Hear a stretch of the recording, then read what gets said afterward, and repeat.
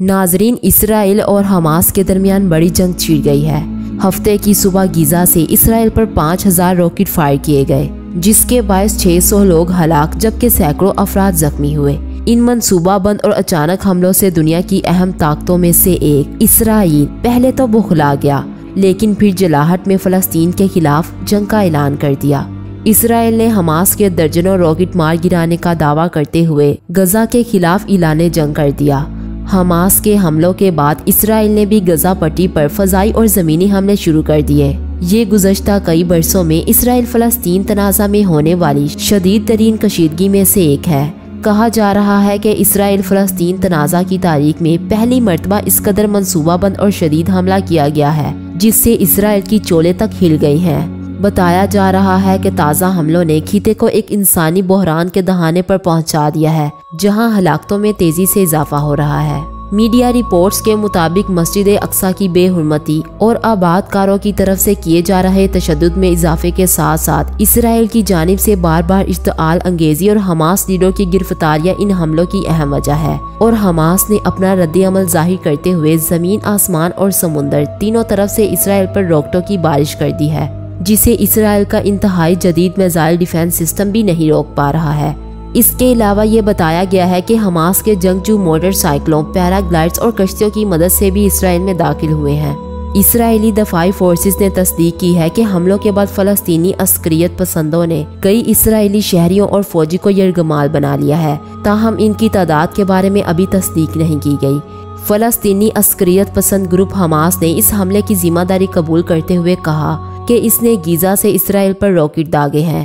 Hamas کے رہنما محمد دیف کا کہنا تھا کہ ہم نے فیصلہ کیا ہے کہ اب بہت ہو چکا ہے۔ ناظرین، اسرائیل فلسطین تنازع پچھلے پچھتر سالوں سے چلتا رہا ہے اور ہر آئے دن اس کے بارے میں کوئی نہ کوئی خبر سننے کو ملتی رہتی ہے۔ لیکن جنگ اس لفظ کا استعمال آج ہو رہا ہے۔ سچ کیا ہے اور اس جنگ کا پوری دنیا پر کیا اثر پڑنے والا ہے؟ آئیے جانتے ہیں آج کی اس ویڈیو میں۔ ناظرین، پہلے تو ہم بات کرتے ہیں اسرائیل فلسطین کانفلکٹ کی اور ساتھ ہی آپ کو بتاتے ہیں کہ حماس کیا ہے اور غزہ کی پٹی کسے کہتے ہیں۔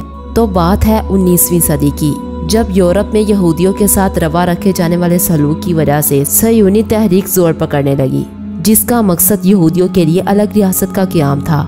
اس وقت فلسطین کا علاقہ سلطنت عثمانیہ کے کنٹرول میں تھا۔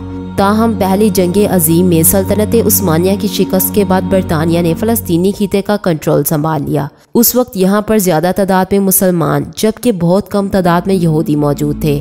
انیس سو بیس کی دہائی سے لے کر انیس سو چالیس کی دہائی کے دوران، یہاں آنے والے یہودیوں کی تعداد میں تیزی سے اضافہ ہوا۔ ان میں سے کچھ دوسری جنگ عظیم میں یورپ سے ہولوکاسٹ سے بچ کر آئے تھے۔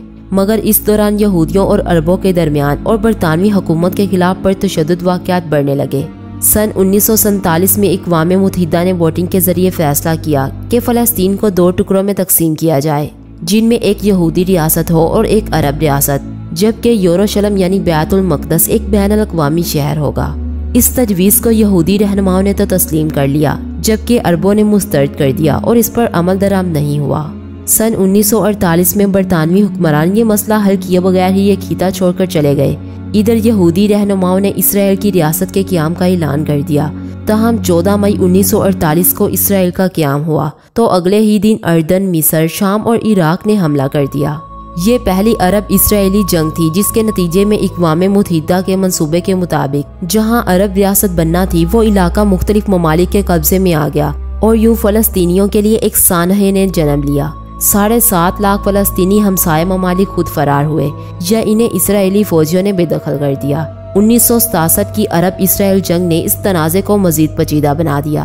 جب اسرائیل نے عرب اتحاد کو شکست دے کر مصر سے غزہ کی پٹی، شام سے گولان اور اردن سے مشرقی یوروشلم سمیت ویسٹ بینک یعنی گربی اردن چھین لیا۔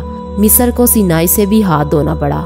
انیس سو تہتر میں مصر اور شام نے اسرائیل پر اپنے علاقے چھڑانے کے لیے حملہ کیا۔ جسے یوم کپور جنگ کہا جاتا ہے۔ چھ سال بعد اسرائیل اور مصر نے امن کا معاہدہ کر لیا اور سینائی مصر کو واپس لوٹا دیا۔ اردن نے بھی کچھ عرصہ بعد اسرائیل کو تسلیم کرتے ہوئے مصر کی تقلید کی۔ ناظرین، اسرائیل آج بھی گرب اردن پر قابض ہے۔ تاہم، اس نے غزہ کی پٹی سے فوجیں نکال لی ہیں، مگر اقوام متحدہ آج بھی اس علاقے کو مقبوضہ مانتا ہے۔ اسرائیل پورے بیت المقدس کو اپنا دارالخلافہ مانتا ہے، جبکہ فلسطینی مشرقی بیت المقدس کو مستقبل کی فلسطینی ریاست کا دارالحکومت مانتے ہیں۔ امریکہ ان چند ممالک میں سے ایک ہے جو اسرائیلی دعوے کو تسلیم کرتا ہے۔ گزشتہ پچاس سالوں میں اسرائیل نے یہاں آبادیاں بنا لی ہیں، جہاں چھ لاکھ یہودی رہتے ہیں۔ فلسطینیوں کا کہنا ہے کہ یہ بین الاقوامی قوانین کے مطابق غیر قانونی ہے اور امن کی راہ میں رکاوٹ ہے، جبکہ اسرائیل اسے مسترد کرتا ہے۔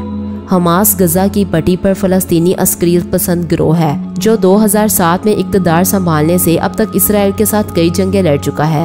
ان جنگوں کے علاوہ حماس نے اسرائیل پر ہزاروں راکٹ داغے ہیں۔ اسرائیل نے بھی حماس کو کئی بار فضائی حملوں سے نشانہ بنایا ہے۔